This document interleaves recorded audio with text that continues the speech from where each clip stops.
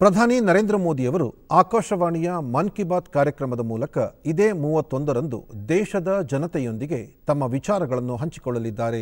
ಸಾರ್ವಜನಿಕರು ತಮ್ಮ ಸಲಹೆಗಳನ್ನು ನೀಡಲು ಇದೇ ಇಪ್ಪತ್ತೊಂಬತ್ತು ಕೊನೆಯ ದಿನವಾಗಿದ್ದು, ನಮೋ ಆ್ಯಪ್ ಅಥವಾ my gov dot G O V dot in ಜಾಲತಾಣ ಇಲ್ಲವೇ ಟೋಲ್ ಫ್ರೀ ಸಂಖ್ಯೆ ಒಂದು ಎಂಟು ಸೊನ್ನೆ ಸೊನ್ನೆ ಒಂದು ಒಂದು ಏಳು ಎಂಟು ಸೊನ್ನೆ ಸೊನ್ನೆಗೆ ಕರೆ ಮಾಡಿ ತಮ್ಮ ಅಭಿಪ್ರಾಯಗಳನ್ನು ಹಂಚಿಕೊಳ್ಳಬಹುದು.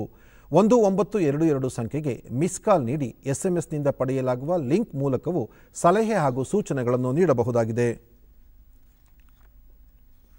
ಮುಂಬೈ ಷೇರು